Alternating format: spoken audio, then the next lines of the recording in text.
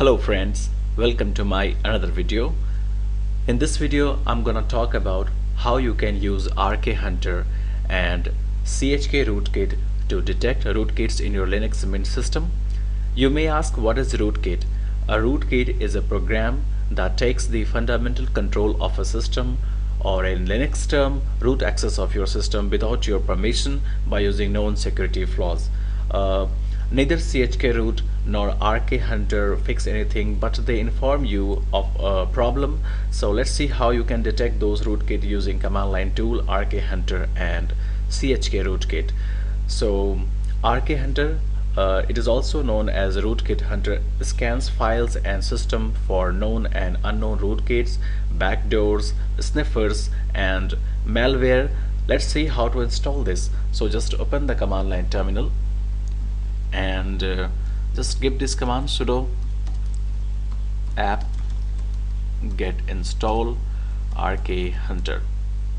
Mm. hit enter. Give your password. RK Hunter is now installed. Next I'm going to use the RK Hunter to detect any rootkits so just uh, type here sudo RK Hunter give option check hit enter. So you can see it's checking system commands.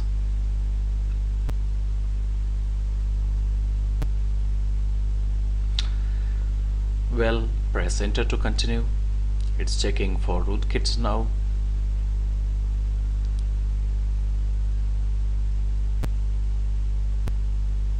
to continue. It's performing additional rootkit checks.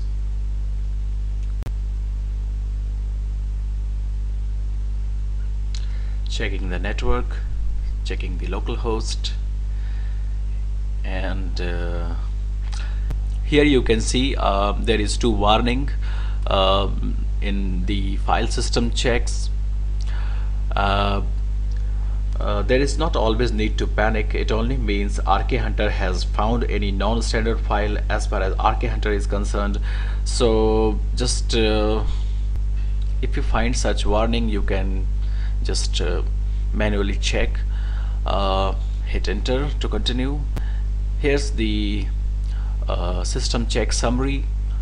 Total file properties check file checked 132 suspect file 0 rootkit checks rootkit check 292 possible rootkit 0 so uh, all results have been written to the log file here to rkhunter.log so for more help on rk hunter you can type this command rk hunter and option h so these are different options available here for RK Hunter. You can go through this.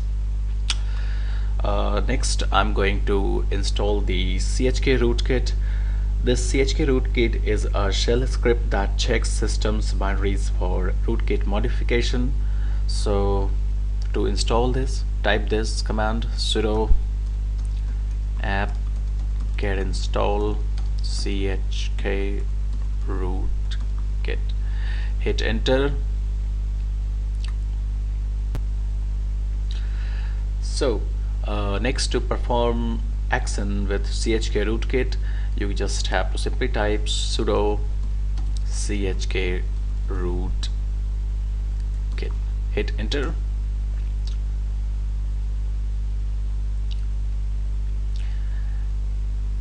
So chk rootkit has completed its action so nothing to worry uh, nothing found here. So none of these tools guarantee that uh, system is not compromised but still uh, it's better to give a try to these two tools. So that's all for now friend. I hope this video was helpful for you and uh, thanks for watching